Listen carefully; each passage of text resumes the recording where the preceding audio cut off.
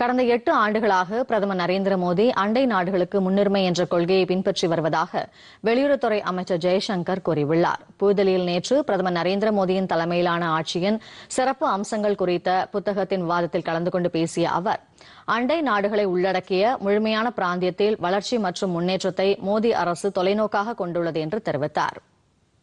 மின்சாரம் சாலைகள் சுரங்கங்கள் நீர்வழிகள் என அனைத்திலும் மாற்றங்கள் நடந்து வருவதாக அவர் குறிப்பிட்டார்.